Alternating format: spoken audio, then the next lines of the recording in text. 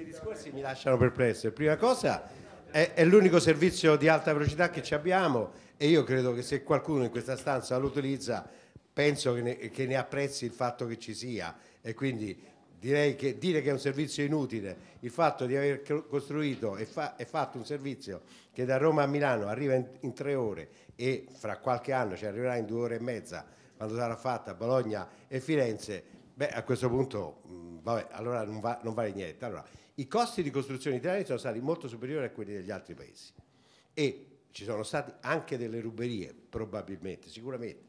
Non mi competono perché io sono entrato in ferrovia nel 2006 con 2 miliardi e 125 milioni di disavanzo, eh, l'abbiamo riportata nel 2008 al pareggio e oggi fa 120 milioni, 130 milioni l'anno di avanzo, senza aumentare le tariffe, se non quelle dell'alta velocità, ma facendo razionalizzazioni, piacevoli o spiacevoli che siano, e anche riducendo il personale che non fa mai piacere, ma l'abbiamo ridotto di oltre 15.000 persone il personale.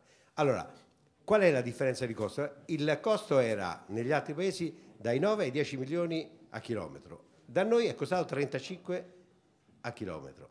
Allora, primo, noi abbiamo effettivamente speso di più la Torino-Milano è stata fatta su un progetto che la affiancava all'autostrada a condizione che venissero rifatti tutti gli svincoli e tutto il sistema autostradale.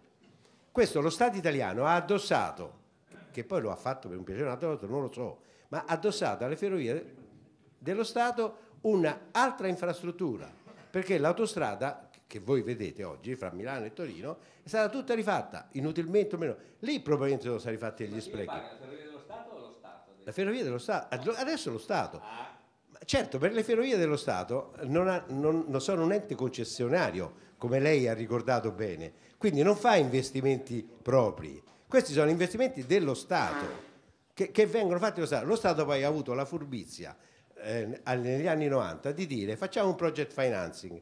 Il project financing fu stroncato subito perché nessun paese al mondo fa il project financing sulle ferrovie.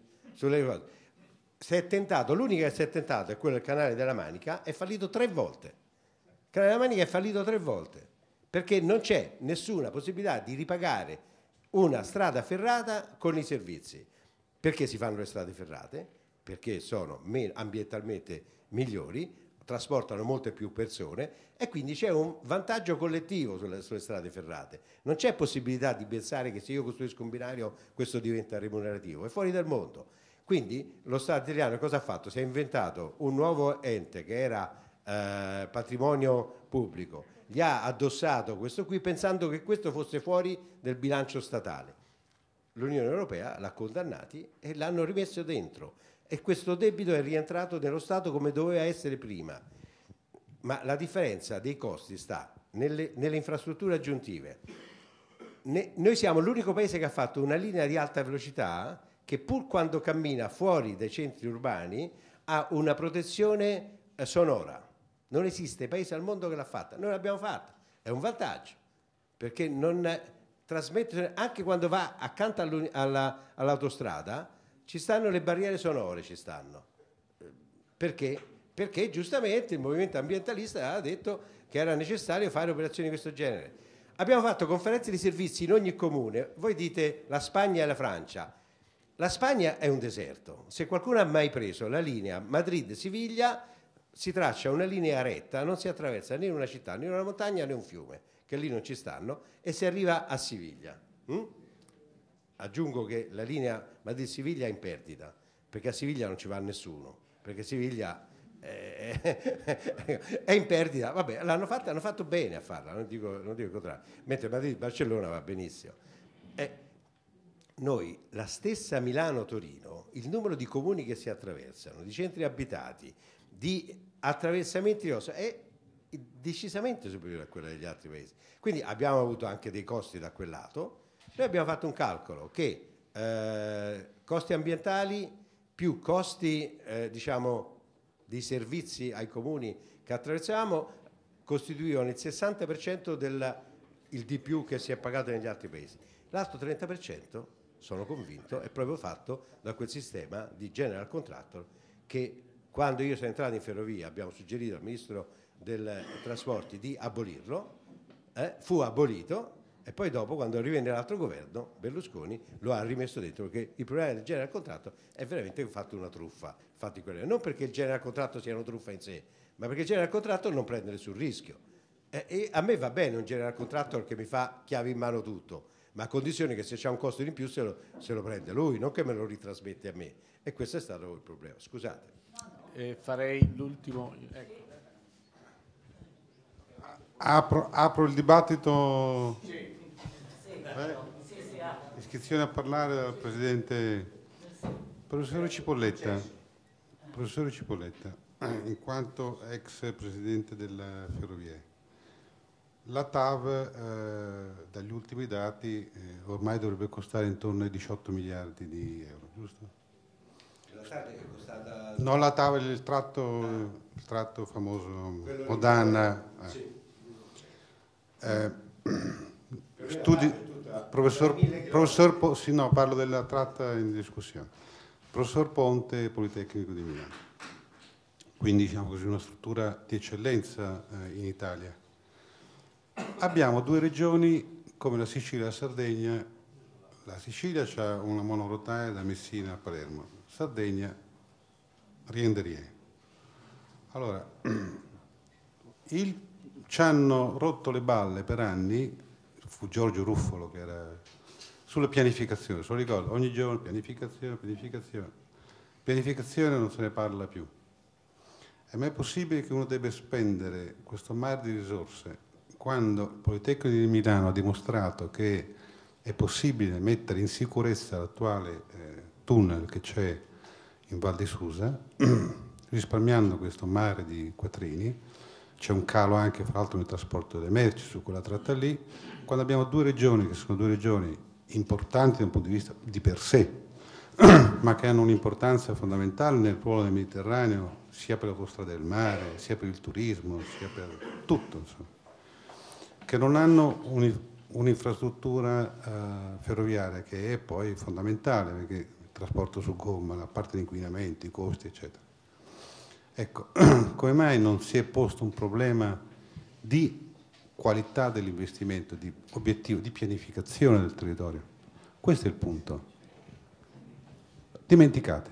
Due regioni, non, non perché è responsabilità sua, perché no, non è no, lei al governo. Lei chi, stava, chi stava alle ferrovie non ha doveva rabberciare capacità decisionale, la doveva rabberciare quello è, che è pubblica. No, Però, ma la domanda pongo a lei come quanto studioso. Sì, no? ma dal punto di vista di cosa? Se parliamo di alta velocità, l'alta velocità ha Parlo un senso... di ferrovia... Ma, però noi abbiamo fatto investimenti in alta velocità. Allora, l'alta velocità ha un senso solo quando ci sono nodi urbani di milioni di soggetti.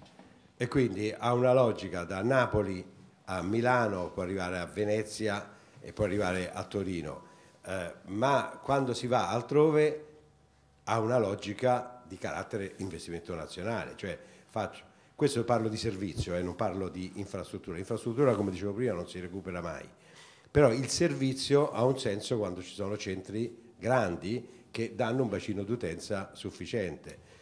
Poi lo Stato può giustamente decidere che anche centri piccoli che hanno bacini di utenza che economicamente non, non, si sfruttano debbano essere in qualche maniera finanziati. A questo punto bisogna finanziare non soltanto la, la, rete, ma bisogna finanziare anche il servizio, perché il servizio non si tiene in questa maniera.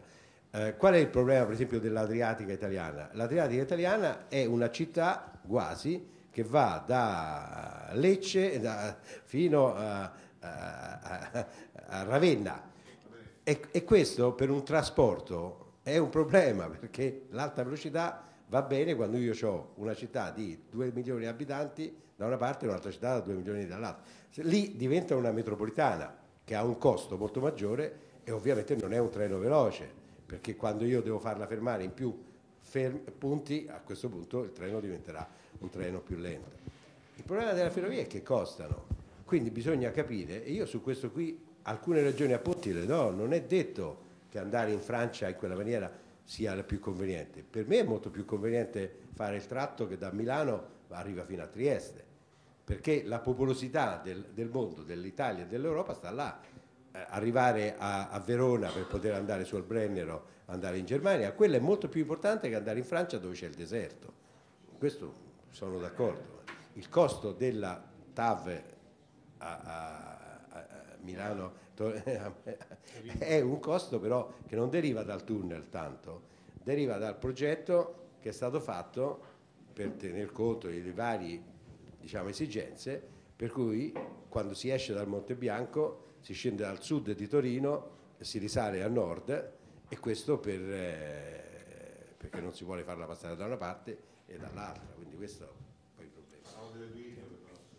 Le due isole, le due isole secondo me, con un buon trasporto eh, su strada, costa molto meno che fare un trasporto. Io non so se voi avete mai visto una cartina delle ferrovie italiane. Allora, le ferrovie italiane sono state disegnate nella seconda metà dell'Ottocento, quando abbiamo fatto l'unità d'Italia. Sono state realizzate nella prima metà del Novecento e basta. Allora, Catania-Palermo, che c'è un'autostrada che dove siano 200 km, no? E si fa con una macchina, anche rispettando i limiti di velocità, in un'ora e mezza, in un'ora e quaranta. Se prendiamo la linea ferroviaria, la linea ferroviaria non va dritta tra Catania e Palermo, ma sale su tutte le colline perché giustamente riunisce tutti i vecchi comuni che un tempo stavano sulle colline. È ovvio che quella linea ci mette sei ore per fare Catania, Catania-Palermo. No, ricostruire la linea a valle, quando hanno fatto un'autostrada, con un traffico fra Catania e Palermo che è bassissimo, perché chi prende quell'autostrada si accorge che è vuota, io non so se conviene. Se non converrebbe meglio mettere una bella linea di autobus fatta bene, con autobus che vanno ogni mezz'ora, ogni cosa costerebbe di meno e avresti lo stesso servizio. Cioè bisogna ragionare in termini anche di fungibilità de- dei trasporti, perché se no si finisce che noi abbiamo treno, eh, macchina, autobus, aereo e, e nessuno di questi è efficiente. Lo stesso vale per la Sardegna. Costruire linee in Sardegna, secondo me, è più comodo fare una bella autostrada che già c'è e fare delle buone linee di autobus. Allora direi che Stefano, se mh, tu sei d'accordo, apriamo la parte di dibattito. Marco, vorrevi rompere il ghiaccio tu? Sì, eh,